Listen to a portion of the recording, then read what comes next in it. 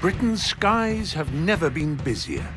Every day, 8,000 planes are flying over 3 million passengers. And in the UK's £52 billion airline business, EasyJet is the leader by flying more passengers than any of its competitors. Now, for the first time, Is that my best sign? with unprecedented access to the pilots You ever have a banana sandwich? A what? Delicious. and their cockpits, we'll show you an airline like it's never been seen before. Okay, so gently lower the nose. And this year, EasyJet plan to fly to even more destinations with more passengers. What people expect a pilot to look like. Uh, Old and haggard. So they're taking to the skies with hundreds of new pilots. Haven't smacked into the ground. You will. And what's more, the final stage of their training is on the job. Looks so much bigger when you see it. And we're coming along for the sometimes bumpy ride. So let's buckle up with the captains and the wannabe co-pilots, some of whom could be flying you to your favourite holiday destination a lot sooner than you think. Lower the nose. Lower the nose all the way down.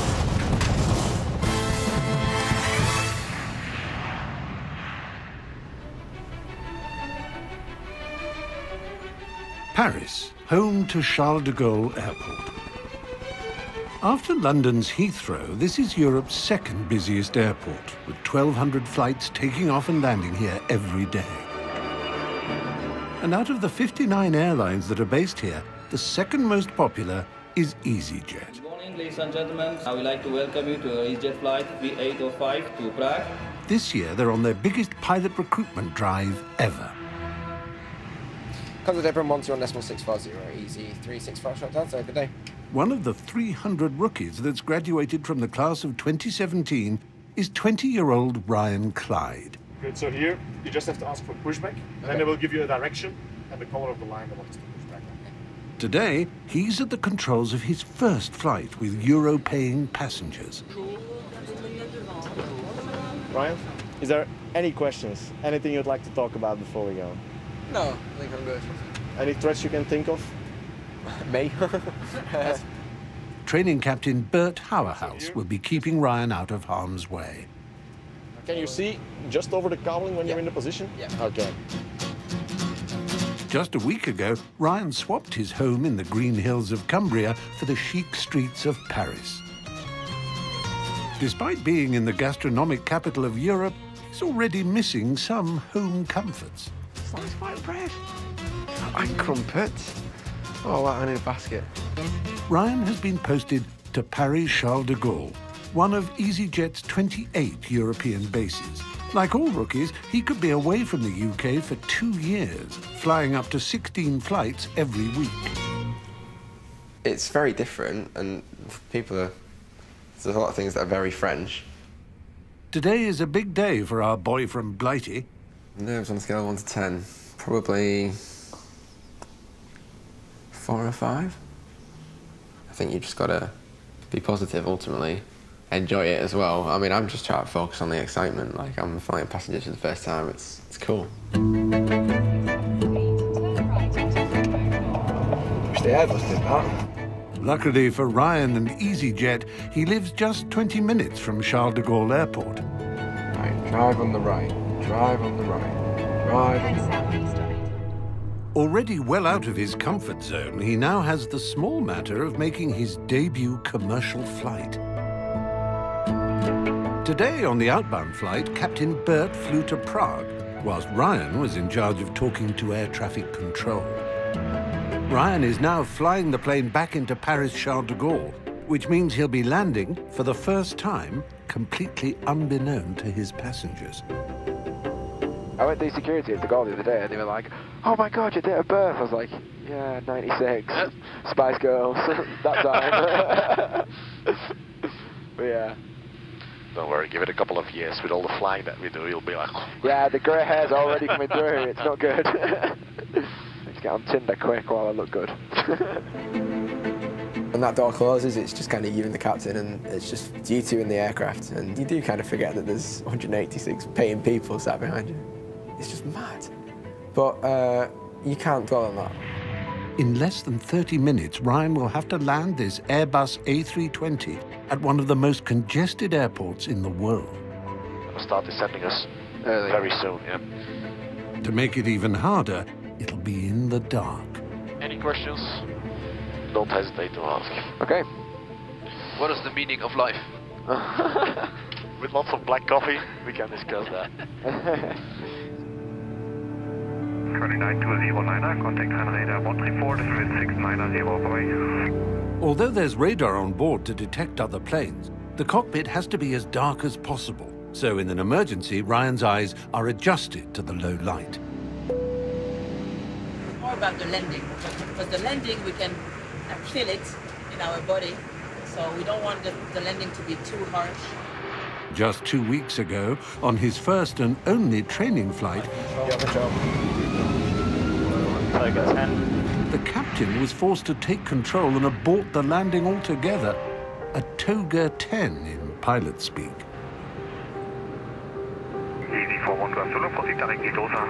An aborted landing with passengers could be frightening, especially for one traveler.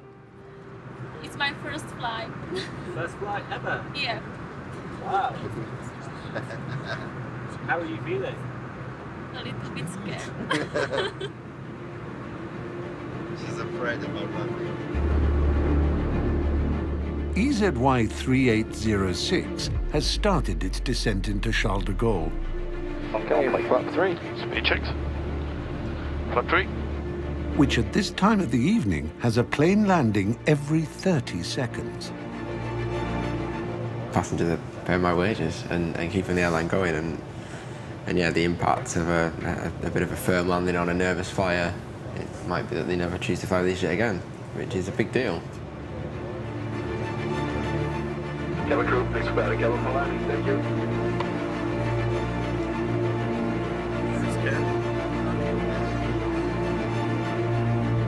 With reduced visibility at night, pilots are almost entirely reliant on the instruments in front of them. Well, do you see the touchdown point where we're going to aim to touch down? Yeah. Okay.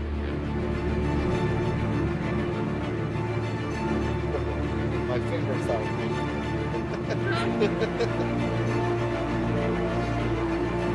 Minimum 50, 40, 30, 20. Retard.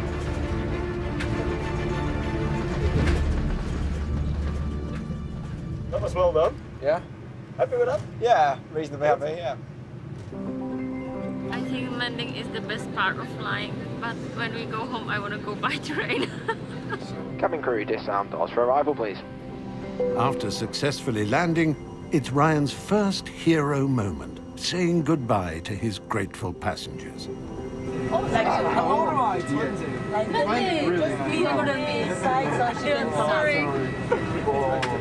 Luckily for them, Ryan didn't have this chat when they boarded.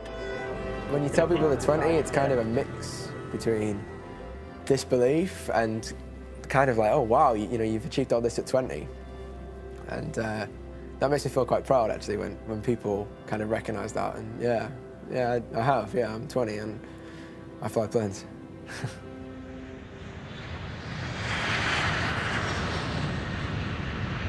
Here at EasyJet's training hub at Gatwick is where Ryan first stepped into the cockpit of an Airbus, albeit without passengers. And today, a new bunch of nervous trainees are about to follow in Ryan's footsteps. You can come in a little closer. it's not a rifle range. With the airline's drive to take on 300 new pilots this year, it's another day at the sharp end of EasyJet's training machine for ex-RAF Captain Chris Kingswood.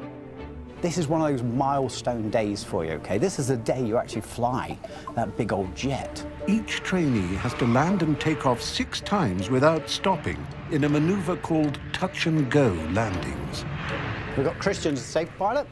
Uh, James is a base trainer. He's one of these incredibly annoying, young and talented people. For any point during today, you hear James or myself say, I have control. Relinquish control, say you have control, so we know you've heard us. It's up to training captains Chris and James to decide whether the rookies are safe to fly passengers. If they fail, they'll send them back to the classroom. There will inevitably be things that don't go well for them as well as they'd hoped. And, and, and a huge part of our job is to keep them calm, keep them relaxed, and just to keep them engaged. I mean, it's, it's great to have fun, but the minute you add stress and pressure, everything becomes a bit difficult. There are 800 flights in and out of Gatwick every day. So when you're about to fly a 70-ton jet for the first time, it's better for the trainees and everyone else to practice out of Gatwick's airspace. Look at the beast. The Beast, aka the Airbus, is the most common passenger jet flown in the world, with one taking off every two seconds. Right, chaps, so you're gathering. Captain Chris left the Air Force in 1996. However, he still likes to run things with military precision. There are very few things that aren't acceptable. But a lamb madras in the tech log is not acceptable to me. Would you do the honours, darling? Going to wipe for you. this is going to a bad place, James. Captain Chris gets a chance to show off his decades of flying experience sitting beside First Officer Christian. They're taking the rookie pilots to a less congested airport, 700 miles away in the south of France. It's all checked. Wunderbar. Wunderbar. I don't know why I keep saying that. So inner German. It's coming out. we don't need to talk about that. Fair enough.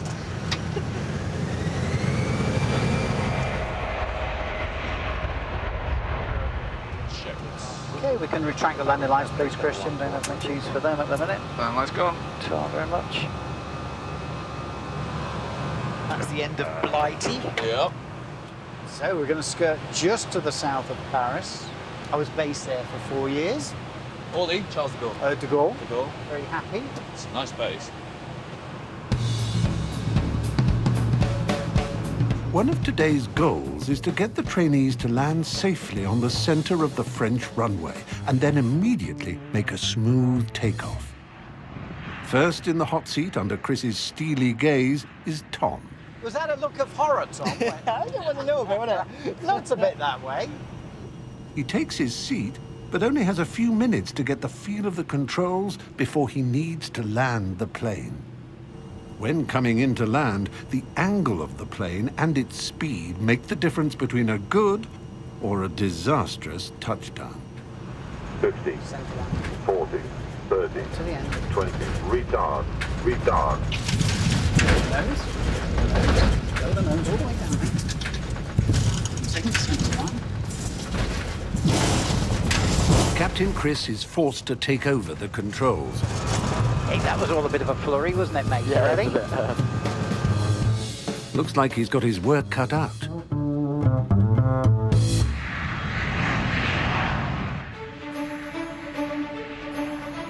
Luton Airport is where it all began for EasyJet back in 1995 with just one plane, one route to Glasgow and 10 pilots. Today, EasyJet operate over 270 planes across 886 routes with more than 3,000 pilots. Um, I'll update my roster when I can, so it should. Valley service. All right. See you. See you later. Ex-British Airways pilot Captain Zoe Ebury is on her way to Luton from her home, which, like all EasyJet pilots, must be within a 90-minute commute. Only 3% of pilots are women. It took seven years for her to become a captain. It's an evolution rather than a step change. Um, it's a bit like when you first learn to drive a car, you start off focusing on the mechanical aspects to widening your view and the blinkers become wider and wider and your view of everything becomes much bigger the more that you do. And it's the same with flying an aeroplane. Zoe is a member of a select club, one of only 450 female captains in the world. They could all fit into a single jumbo jet. Today, she will be flying with First Officer Steph Harris, who joined EasyJet as a cadet four years ago. Can we have 4.6 tons, please? Steph is two pay grades behind Captain Zoe and it's her job to order their plane's fuel for their flight, bound for Rome. 41 right and no stop. That's great. Thanks very much. Thanks. Bye. Bye.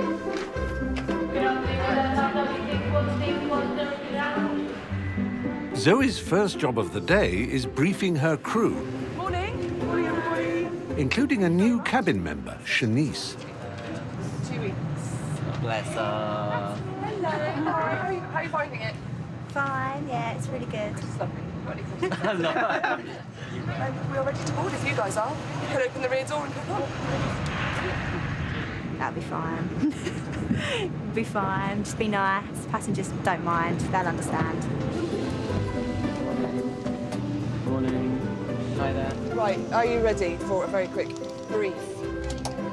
The chances of having two women pilots in the cockpit at the same time are 300 to 1. Wind today on the runway is from the right, so if you have an engine fire on the right-hand side, it's a more critical turn to put the burning engine downwind, but we'll turn towards the fire.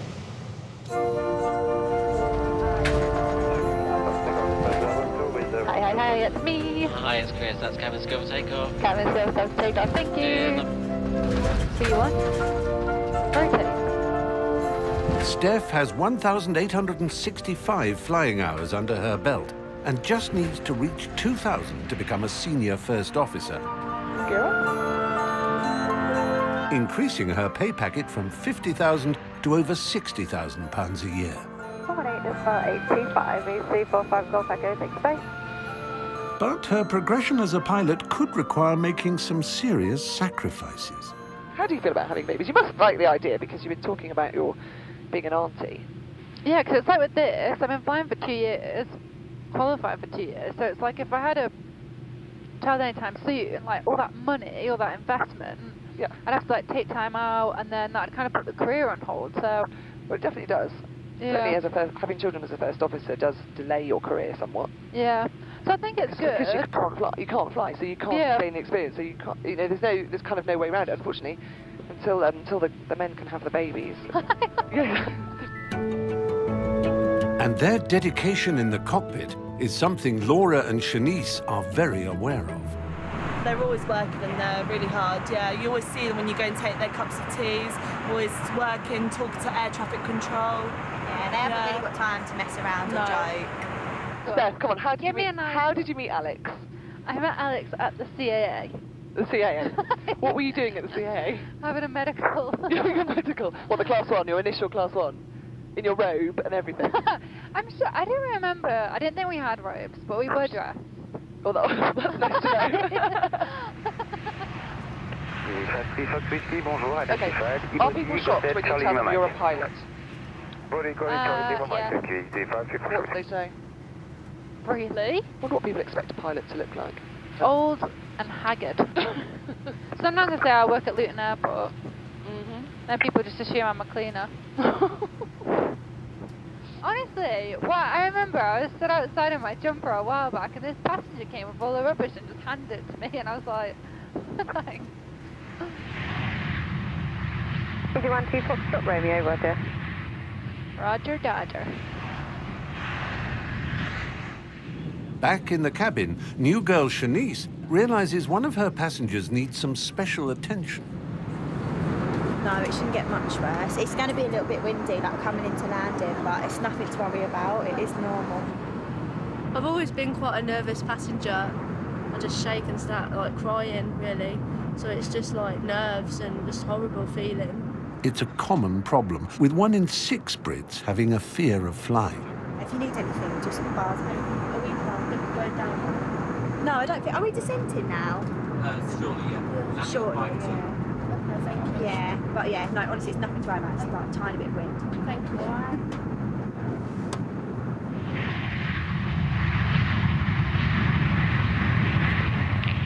Hello.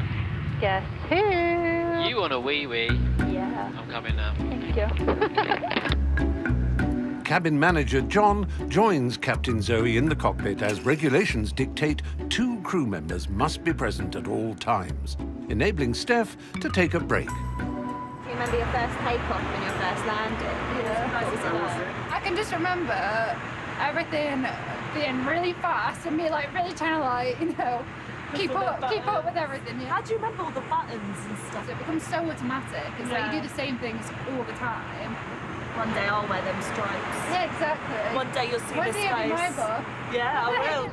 First officers have two stripes on their shoulder until they reach the rank of senior first officer and get three. After that, it's four and the rank of captain. All wannabe pilots need at least five GCSEs and the mandatory £120,000. Because seeing all these female pilots in there's motivating me to maybe apply for it. I don't think I'm smart enough. oh, thanks. You can say I'm smart. well, you know your three times table. Yeah. Yeah, no, I'm not smart enough. Zero zero three, radar heading is two seven zero degrees. Ten minutes to seatbelt signs, Shanice checks up on her nervy passenger. Do you want like water? Do you know I'll be able to? As soon as we hit the floor, I'll be fine. EZY 2211 is descending into Rome Fiumicino Airport at 140 miles an hour.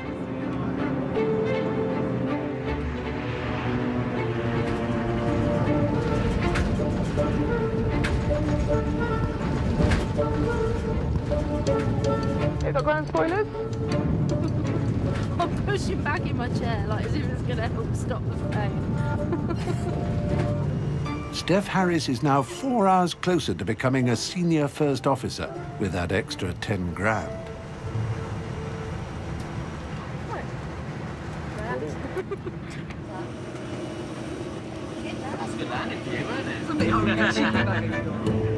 Plane turnaround time stood at an hour for nearly 50 years until the low-cost airlines slashed that to just 25 minutes. Most glamorous part of the job. This means even captains need to occasionally roll up their four-striped sleeves. We're tidying the seat pockets, making sure the safety card is at the front. So obviously that's the important thing. And making sure passengers haven't left their own personal possessions on board. while their wannabe senior first officers check under the bonnet to make sure all is shipshape for the return flight back to Luton.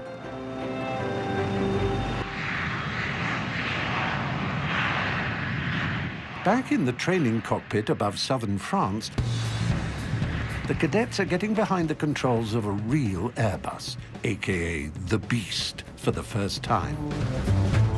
Today they're being assessed on their touchdown landings and takeoffs. Failure will mean a trip back to the flight simulator. Next up for training captains James and safety first officer Christian is the only woman on board, 22-year-old Charlotte. Do you have control?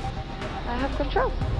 She worked at a supermarket and took out a loan to pay for her training. Feeling all right? Yes, Yeah, so far. Haven't smacked it into the ground, so that's that's good. You will, one day. Don't worry. Oh, there will be a day when It's you just smack it. coming. This is Charlotte's first ever landing in a 70-ton Airbus, and she's spotted a potential problem. Oh, Go away, bird. Yeah, they're a bit annoying, aren't they? Bird strikes are most common at low altitude, exactly where the cadets are spending most of their time today. They make me a bit nervous. It's all right, they'll come by yourself, don't worry. yeah. There is that. For the 8,000 flights that take off and land every day from the UK, bird strikes are the biggest hazard. Landing checklist. Checklist cabin. Secure for landing. Auto thrust. Speed. Going altitude. 1800 set. They can cause serious engine damage, and on takeoff can force planes to make an emergency landing. But surprisingly, pilots are taught not to avoid them, particularly when coming in to land, as sudden changes to the flight path can be even more dangerous. Birds, go away. Oh, fuck off. Charlotte correctly positions the plane for landing. She now needs to remember her training and ignore the birds. Get down. Get it. Coming down, keep holding that centre line. Nothing too drastic, small movements. Oh, that oh, centre oh, line. A little bit left. But she can't fight her instinct to avoid them and banks sharply to the right. Stable. 40, 30, 20, retard, retard. Retard, by the way, is an instruction to pull the throttle back and slow down. Charlotte lands way off the center line. She just manages to get back on course to take off successfully. Do you like animals? you can't avoid the birds. They'll avoid you. Can't go flying off to the right, just avoid the birds, Charlotte. I didn't even realise I'd done that until afterwards. I was like, no, what have I done? I've ruined the whole approach.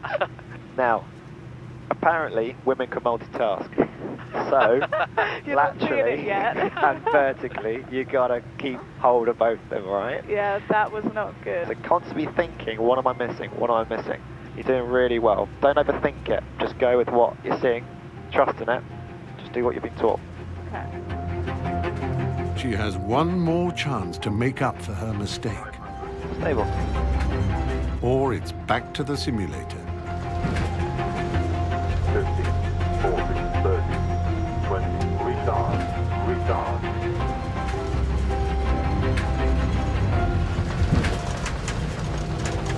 She nails her last attempt, and training Captain James is impressed. Charlotte is now one step nearer to membership of this predominantly male club. That was bloody perfect, wasn't it? Oh, Much better than the last one. Charlotte, did you do that last landing? Looked perfect. Charlotte, you did very well. Thank you very much. well done. I enjoyed that a lot.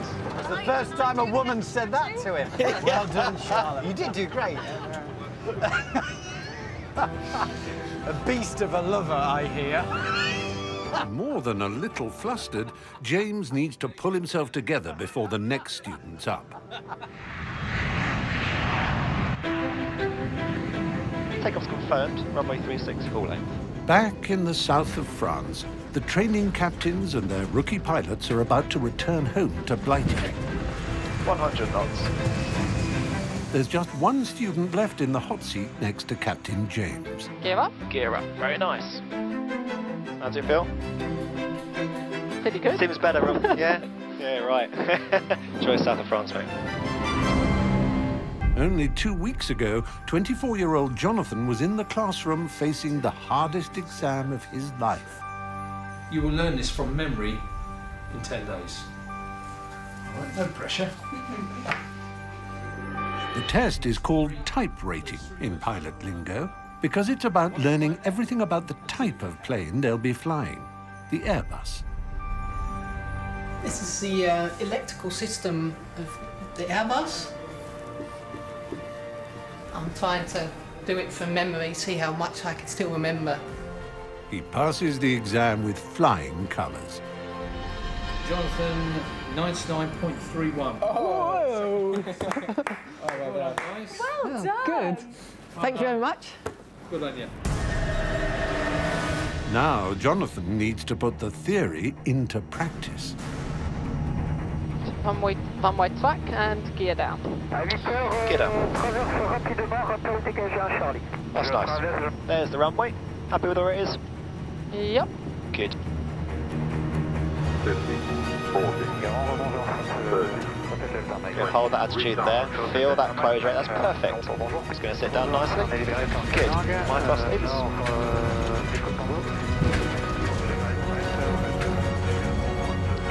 Rotate. Positive climb. Up. Gear up.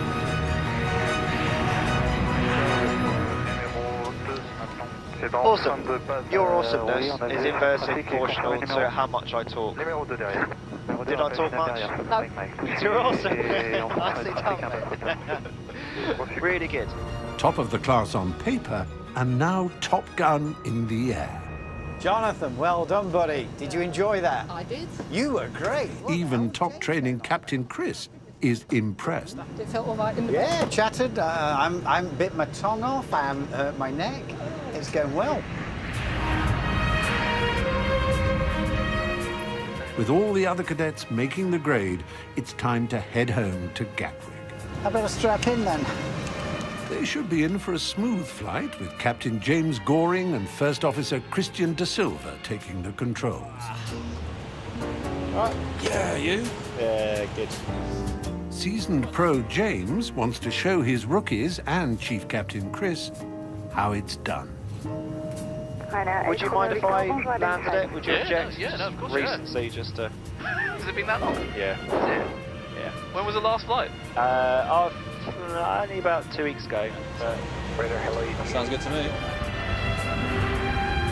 With the sunny, settled weather of southern France far behind them, they're descending into the cloudy grey of Gatwick. Welcome home, guys. Yeah. yeah. It's that annoying Gatwick wind. It's just turbulent. I'm glad you're doing the landing. Eh? Despite the conditions, James knows he must land in a specific area of the runway called the touchdown zone, or he'll risk running out of tarmac. Gear down, please. Get down.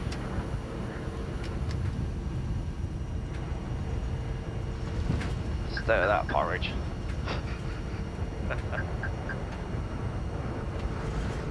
Fifty, forty, thirty, twenty. Retard. Retard. Oh, oh you find it. Retard. I can hear him laugh. Captain James trains other captains, but today he nearly missed the touchdown zone. It seems things didn't go according to plan. That's a pilot ship.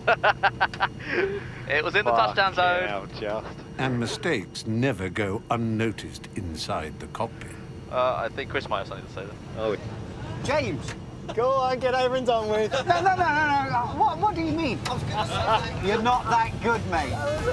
Just went, oh, hello. Going back up.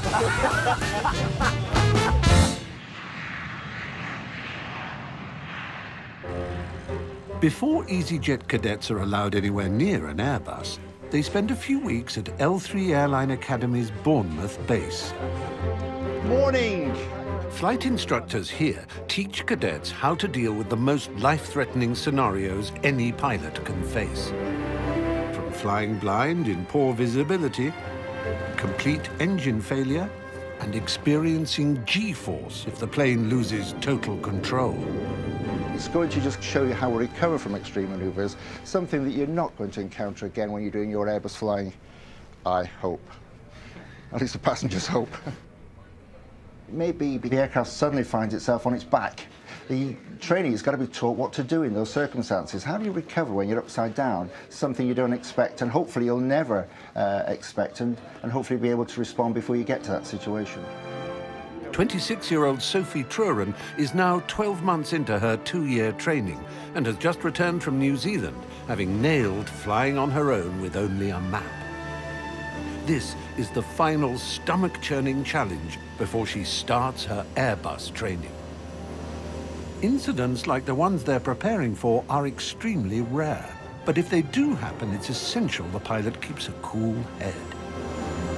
Today, Sophie will have to endure dramatic turns and stalls in midair to recreate a disastrous loss of control. Are you going to feel sick, do you think? I feel sick during stalling and steep turns, so yes. I always make funny noises when I'm about to feel ill. I'm like, oh, Oh, I'll yeah. start squeaking. Going, To avoid air sickness, Sophie is keen to employ a trick she learned at flight school in New Zealand. So, did Ed take Ginger in New Zealand? I think he did, and then I've heard of other cadets taking it too. What, and it helped with the air sickness? Yeah, slightly. People have different ways of managing air sickness, and I've heard rumours that ginger helps with any nausea you might feel if you consume ginger before. So they have settled for some ginger biscuits. Sophie will be flying in a plane they affectionately call, There's the vomit comet itself. yes, you heard right, the Vomit Comet. What if I throw up? I might take a sick bag. Do you want a sick bag? Instructor Cliff Rand, who's been taking people upside down for three years, has his own strategy to avoid air sickness, but he's keeping it to himself. It's gonna be awesome. It's a beautiful day.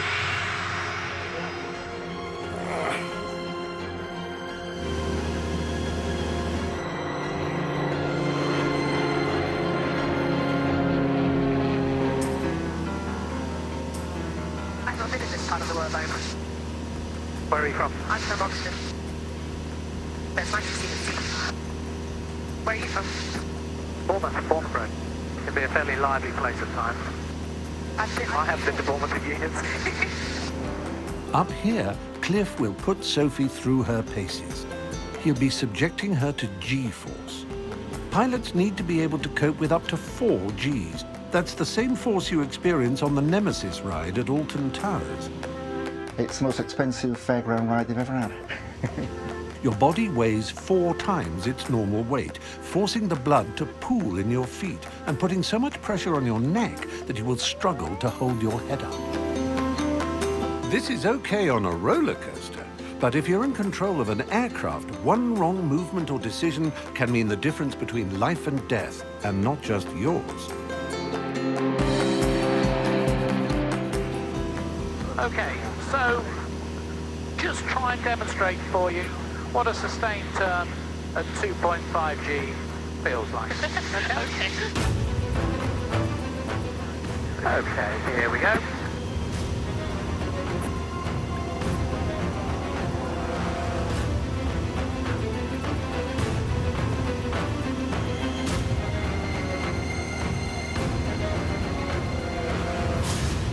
Just try and remember that feeling. That's what two and a half G feels like. Okay. I feel like if you did that in, in, in your aircraft, you would notice. Next, Cliff confronts Sophie with a pilot's worst nightmare, a stall. We're going fully to the stalls. He switches the engine off, and the aircraft begins to plummet towards the ground. There's the main model. Oh, Stick forward. Passenger planes almost never stall. But when they do, it's crucial a pilot knows exactly how to manage this potentially fatal situation. As she falls from 3,000 feet, Sophie has to battle to regain control of the aircraft Ease out of the descent. Need some more power in. by accelerating out of the dive. More power in. Keep it going. Keep it going. Keep it going. Raise the nose. Touching. Was, was That's it. Okay. Remember, if you're going to fully stall the aeroplane, It's not going to behave in a predictable way, is it? I need to know that. would you like to go upside down completely? Of course. Okay. The ginger has served her well, but can it last a 360 degree roll? Just brace your tummy. And then we'll look left to right and then over the back of your head as we're inverted. Okay? Okay, here we go.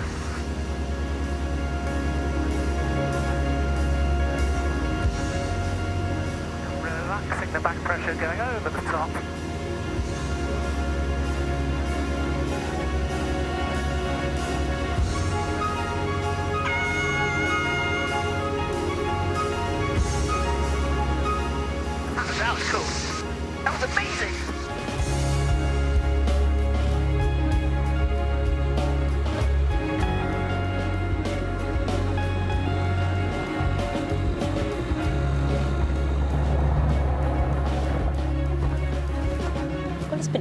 Thank you. Okay, It's so been really enjoyed fun. I was surprised, but it was really good. I did all the manoeuvres and some stalling. But um, after that, you know, you know what to expect, and it's really good. I feel, I feel a lot more confident now than I did before I, before I left in that plane. So, it's a good day.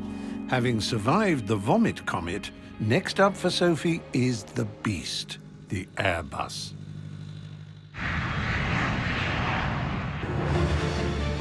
E EZY 6794 is about to return home to Belfast from Faro in Portugal's Algarve. At the helm is 24-year-old Jonathan Bruver. So we have flap one, uh, runway zero, one zero. Fresh from flight school, it's the A-star student's first time at the controls of a jet with passengers on board. So final block is 996. That's it. Captain Barry Russell is sitting alongside, overseeing the trainee first officer.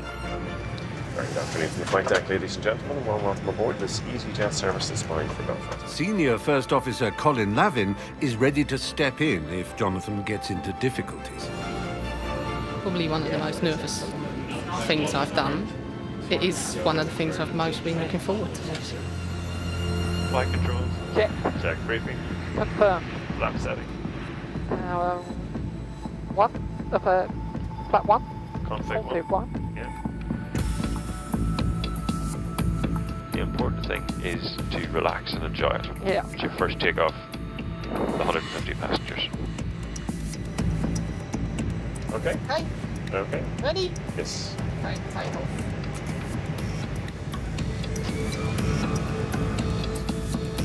Thrust set. 100 knots. V1, rotate.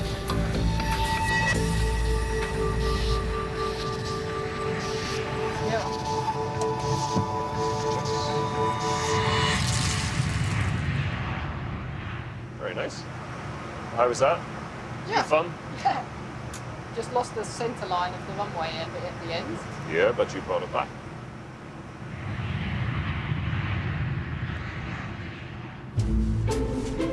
Jonathan left his English mum and Dutch dad in Holland to be posted to Belfast, where he's living on his own for the first time. This is home, yes. It is now. I've put my suitcase and my jacket in here. That oh, it's a bit of a mess on there, but... I mean, I haven't got any more than that. Not a lot, is it? All my family and my parents, they're probably more worried about me cleaning and cooking and washing than that they are me flying. He may have excelled in the classroom, but there are some other on-the-job skills he has to master, like the all-important passenger announcement. So, do you want to think about a PA, perhaps? Okay. I've told them a little bit about the route. You could turn around and say, you know, our cruise altitude. So we're cruising at 33,000 feet over the Bay of Biscay. Over what? Bay of Biscay. Never heard. Bay. Come on, Jonathan. Bay of Biscay? The stretch of water between northeastern Spain and France. Do you not know your geography? I never did geography. Okay, you're over the Atlantic Ocean then. The passenger announcement can be nerve-wracking for any novice, especially if you don't know where you are.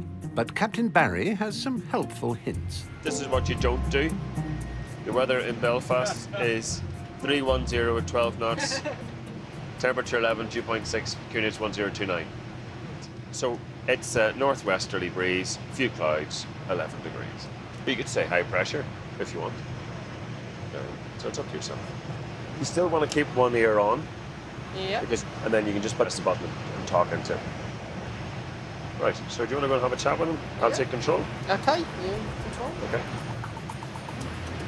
This, this button here. Yes.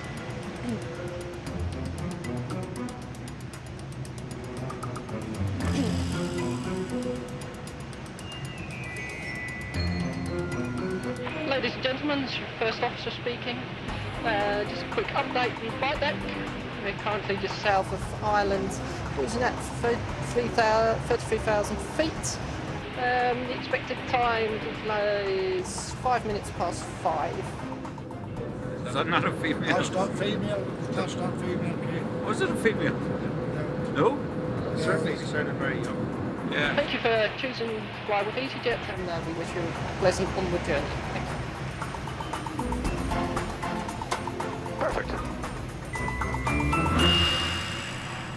With the announcement safely negotiated, it's time for another cockpit lesson, this time in Captain Comfort Food.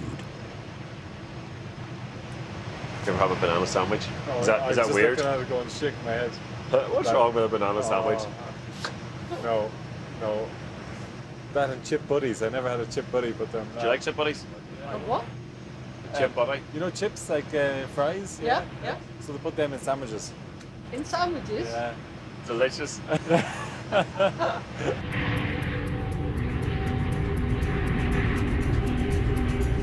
150 miles from Belfast, it's time for Jonathan to start his first descent. Delta 40 miles, touchdown. Descent, flight level 60. Flight level 60 blue. Checks. Heading 1015.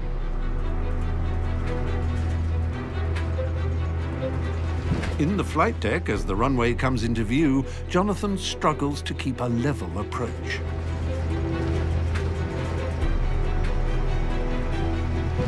Hundred above.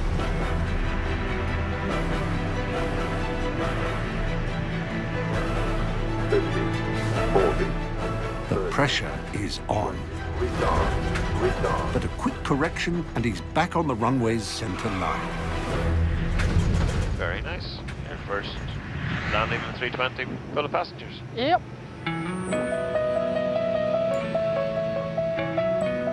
Well, how'd that feel?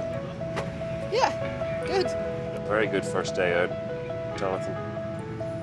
I enjoyed it. Good. That's half the battle. I thought that was a great landing, so did. Very good. You wouldn't know it was his first time, sure you wouldn't? Thanks very much. Thank you. Bye. You're extremely young looking. we know, we know you trust you. Thank you. Thank you. Bye. It's not a good first day. It Was good then, really good. Yeah. Yeah. Uh, a lot of the guys we're getting through now are really, really good. Really switched on. Really good, really good. Can't wait till tomorrow to the next one.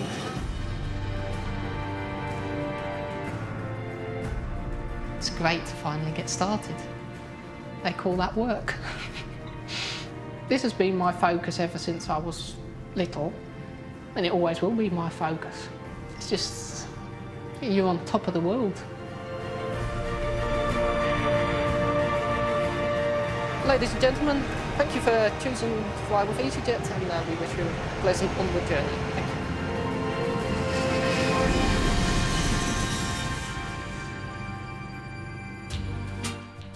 Davina and Nikki are back with more heartwarming reunions in New Long Lost Family Wednesday night at 9.